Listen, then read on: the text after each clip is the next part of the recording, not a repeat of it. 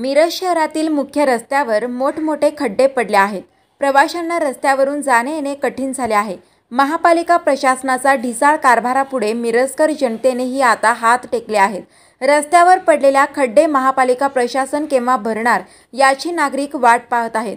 शिवसैनिकांनी एक पाऊल पुढे टाकून पण महापालिका प्रशासनाची वाट न पाहता अपघाताला कारणीभूत ठरणारे ड्रेनेजच्या लोखंडी पट्ट्या स्वतः काढून नागरिकांना अपघात होण्यापासून वाचवल्याची घटना घडली आहे. महाराणा प्रताप चौक येथे म्हसोबा मंदिर समोर रस्त्याच्या मधोमध ड्रेनेज चेंबर भोवती खड्डा पडला आहे.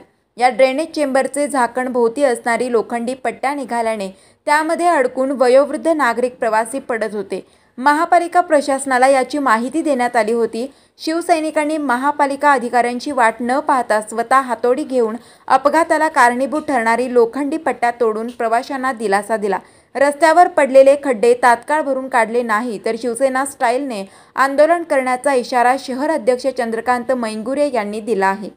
वेळोवेळी सांगून सुद्धा अजूनपर्यंत डबरे मोजवले नाहीत. पावसाळा चालू होऊन सुद्धा डबरे मोजवले नाहीत. आज म- मार्केटमध्ये भर चौकात डबरा पडलेला आहे आणि येता जाता वृद्ध आश्रम वृद्ध महिला खाली पडलेले बघून आमच्या शिवसैनिकांनी ते पत्रा काढून ते व्यवस्थित केलेलं आहे. महापा महापालिकेला एवढं पण कळत नाही. पावसाळा चालू झालेला आहे. डबरे अजून पडलेले आहेत. मुरुम मुरमी मुरुम पण टाकले नाहीत येणाऱ्या काळात जर त्यांनी जर डबरे जर नाही मुजव मुजवले तर शिवसेनेच्या वतीनं त्यांचा जाहीर निषेध करणार आहे. नमस्कार.